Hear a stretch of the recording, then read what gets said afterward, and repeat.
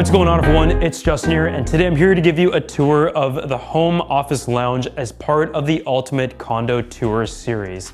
If you remember late last year, I did do a tour of the office desk, which is where I work at home and showed you the computer side of things, the storage, monitors, and the very techie stuff. So in this video, let's focus on the design aspect with some touches of tech interest but also some amazing furniture pieces. And if you have a love for furniture and design, then this is the episode for you. And I'm gonna try to link as many of the pieces in the description section of the video as possible. But let's first start out with the shelf.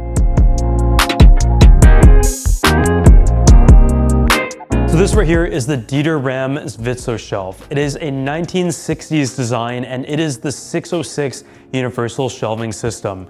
What makes this shelf unique is that even though there are a lot of different options for white shelving and a lot of which are a lot more affordable, it is a fully customizable system that is extremely high quality and very iconic, and it's one that I believe I will keep for a lifetime. And whatever I have on the shelf is what I've developed over the first year of living in this property, and things are going to evolve and change here and there but I'm gonna talk about the shelving system and how it's designed, as well as the different pieces that I have on it right now. So when it comes to customizing your 606 universal shelving system, you actually have to go through a consultation process. They'll have you submit things like your space, the size, the type of shelf that you're gonna use it for, and whether you wanna have it as like a compact shelf where you have a desk um, and an actual workspace, or you wanna use it as a media wall or bookshelf, it is very versatile and there's a system of narrow and wide cabinets that you piece together and from there you're able to choose if you want it to be open shelving or if you want it to be drawers of two, three, open cabinets, lock cabinets, and over time you can customize it based on your needs. But the system that I went with was to fill about a 12 foot wall and I went with a large cabinet on each side one of which being larger than the other. And in the middle, I have a lock cabinet. So if I'm storing my cameras or watches for a couple days, then I can just go ahead and put it in there. And otherwise, I kept it pretty simple with the shelving system. But what I love about it is that you can either go with a very symmetrical setup, or you can also make it a bit offset. And so this is how the finished product came out. I absolutely love it. And I'm actually going to be putting it in my next project as well. And for a very large wall that is next to my desk, it's just an important way to display the things that you love. And I think that's a key aspect of any reading lounge where you can have a balance of tech, memorabilia, collectibles, and your books. In terms of what I have on the Vitsoe shelf, let's start from one side to the other. So you're gonna notice that in my house and in my office, I have a lot of different books. Some of them are business books, some of them are books that are focused on interior design, but I actually started by removing one shelf here and placing one of the House of Spoil prints. But it's a good way to separate one side of your shelf to just have a poster. And here we have the participant certificate for being one of the first to be able to drive the Mercedes-Benz EQXX concept car in Immendingen, Germany. That was probably one of my favorite videos to date. It was one of the first times we worked with Mercedes-Benz. And so I have that here as well as a business award and just a piece here that shows um, my love for architecture, super cool that I found on Uncrate. And in the middle here, I have the clock that you guys have seen before. Love this clock. I think it is missing the letter change. I just couldn't find where I put the extra numbers for that. And some of the other books include like the Kinfolk line, uh, Kinfolk Entrepreneur, and there's a Balmuda piece here that I really like. It is a speaker lamp that I've wanted for quite a while. Above that is a transparent speaker. I have the small one and the large one, and I've seen these on pretty much every one of these shelves or mid-century modern tech interiors and it's a great speaker. Honestly, I've never used it to actually listen to music.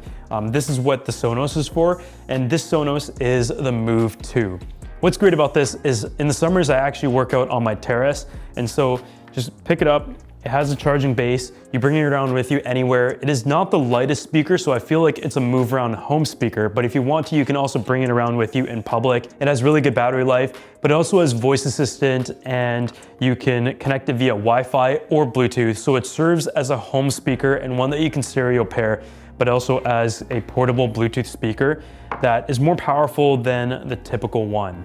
On this side, you can see there are some more speakers, candles, and just stuff that I've already talked about here. but this specific piece is from the Ginori Museum. When we were on a trip with Four Seasons in Italy, they took us to the Ginori Museum and we got to see all of these pieces being made by hand.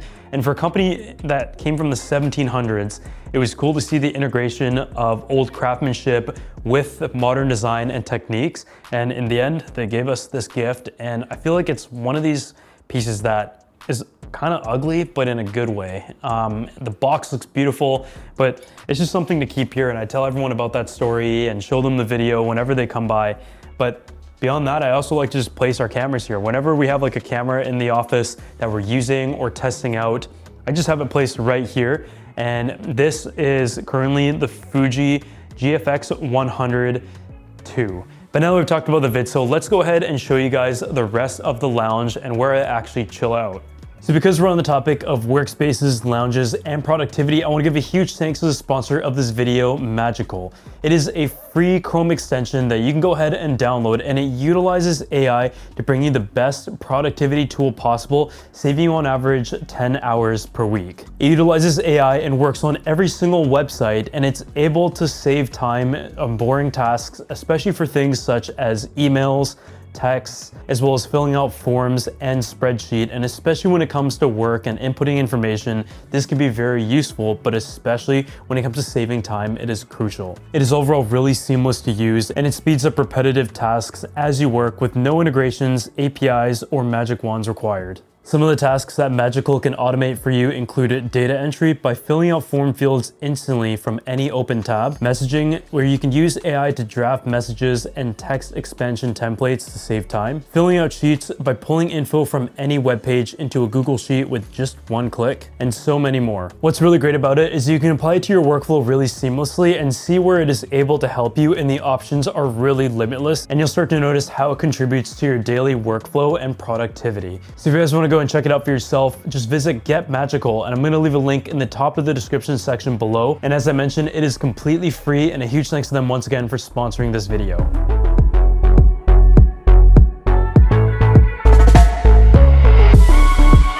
So now I'm going to talk about the lounge, and it's an extension of the home office that is a room next door, and it's where I sit down, listen to music, maybe curate some things, and also take conference calls. It's an area that is just outside of my main desk that I sit at for most of the day, and I would say that it is really important to have a side chair or just a relaxation area, even within your own office or the room next door, especially if you primarily work from home.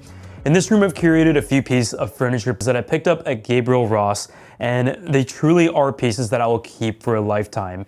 The specifics of this room include the designs of like the wall, some of the art that I picked out, the audio system and speakers that I have that I'm gonna talk about in the headboard, but I'm sitting right here in just the comfortable and cozy couch, which is the Ethnicraft N701. This modular sofa is truly modular because you can decide if you wanna get a one person seater, you can get a two seater, three seater, corner pieces, and I've seen extremely large setups with this sofa. And the best part about it is that you can really customize the material and finish that is all the highest quality available.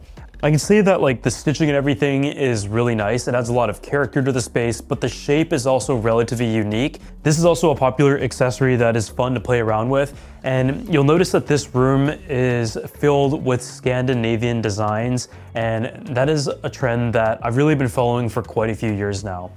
As for the table itself, this is the Noguchi by Herman Miller. Herman Miller is an iconic furniture company and perhaps one of the most famous, and we purchased some office desks and a ton of chairs from them, most namely the Aeron and the Embody.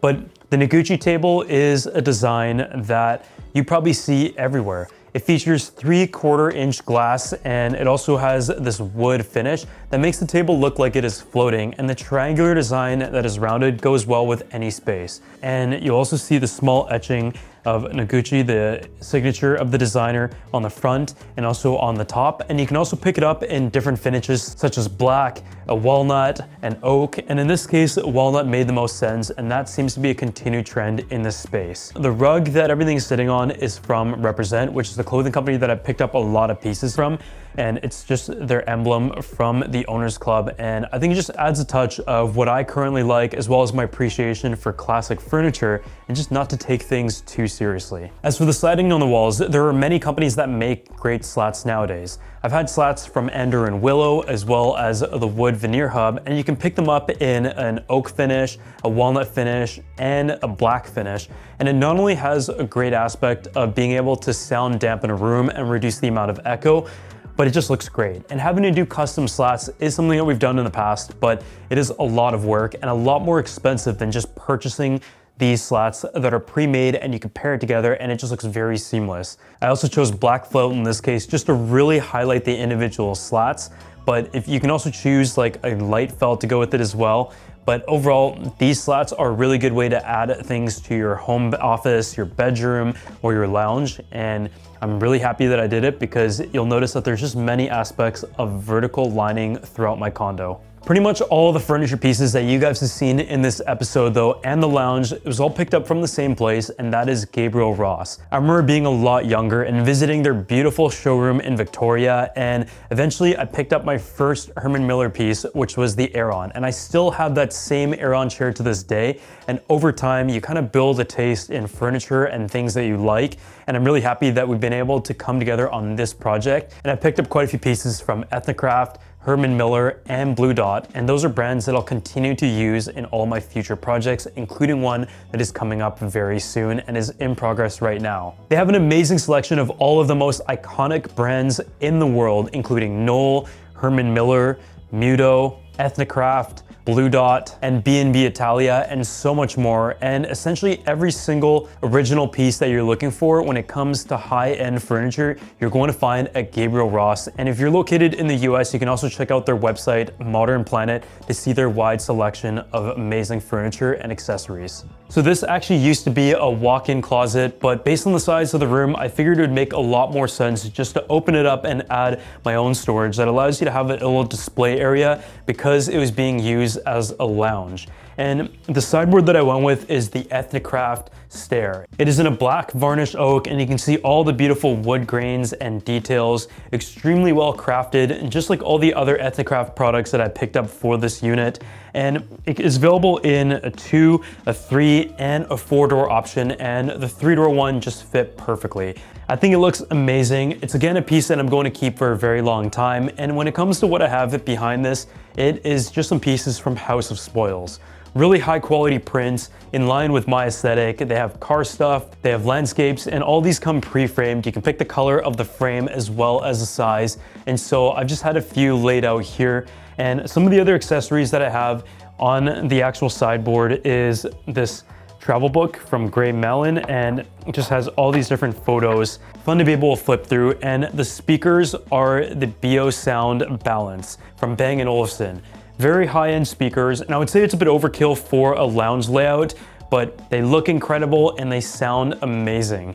This stereo pair right here is one that you can either use on its own or have a few combined together, but it is extremely powerful and you can see it has quite a bit of size as well. You can go with the marble, you can also go with the dark finish, and of course the aluminum one that I have right here. It definitely comes in at a very premium price point and if it is the main speaker in your space, it could be worth it, but you are also paying for the design. And next to that is a buster and punch lamp that I've had for quite a while and one that you guys have seen in some of my other spaces. So this side of the lounge is really just an area to chill, display different things. Um, I might put like a Lego set here, but the best part about it is that just like the Vitsoe shelf, I can really rotate what I want to put there based on my preferences. And so having different pieces and touches that tied to the things that you enjoy and trying to develop that over time is what makes a lounge setup a lot of fun.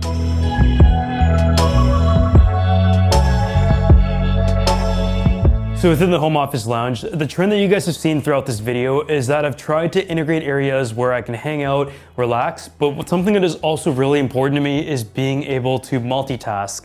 And in the home office, I actually have a projector up there, and a lot of times I'll have a projector screen roll down, and that's how I'm able to watch hockey while I'm working. But You can see this area of the home office and lounge connects to the terrace, but here I also have a media console that has all of the tech that houses the speaker systems as well as the projector and cable and all that fun stuff as well as a printer. And what I've tried to do is make the place look as leisurely as possible. Being a tech YouTuber, there is still a lot of visible tech, but this is a way that I've been able to hide it, and that is the Blu Dot Dang. The Blu Dot Dang is a really good console table if you're looking for a dresser or a TV stand. It's available in a few different sizes, and some of which are all drawers. But one thing I really like about this specifically is that it actually has an open cabinet, and within that, there is a metal finish on the top here, which means it lets the tech breathe. It really is a nice design touch, and I think this combination of color looks great. It is really heavy and solidly built, and on top of it, I just have a set machine from Edition Hotels. It is the Aera. There's also just a set of books here, just like the rest of the place, and this is one of my favorite lamps. It is the Menu Joida, I think it's how it's pronounced, and it's available in like a concrete finish as well as a walnut finish, and I believe a black one as well. But it just gives a nice glow and minimalism to it. And one way I've really tried to decorate this room is by adding more lights. So as always, if you guys enjoyed this video, make sure you go ahead and drop a like, subscribe to the channel, and this has been a tour of my lounge setup, which shows you the home office element of the Vitsoe shelf and the office theater, as well as the lounge that I just sit, relax, listen to music, take conference calls, and if you guys wanna go ahead and check out my home office tour, I have a video of that as well. But as always, make sure you drop a like, subscribe to the channel, and watch the other episodes from the series, and I'll see you all in the next one.